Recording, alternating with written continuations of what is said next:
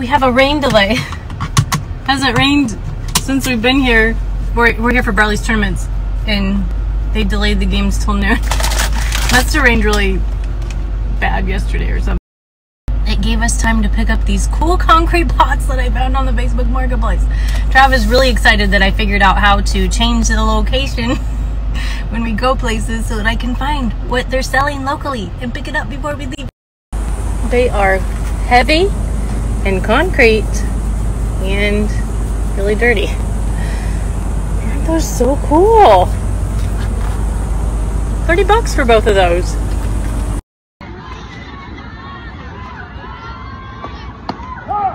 Nice pitch, Brian! I've never had a visor until today. And I like it.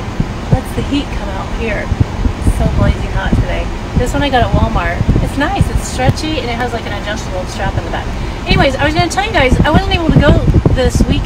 They're gone, and then I couldn't go the other days they were open, but Gather, I'll tag them here. They're open once a month. Thursday, Friday, Saturday, Sunday. So they're open today yet and tomorrow. I think their hours are in their profile, but it's really fun to go. You might even see some of my stuff there. They're the ones that came and took all that stuff from my shed. Remember the stuff I was getting rid of? And that's kind of what they do. They go around and they're pickers. They pick things and then they open once a month and they have really cool original stuff.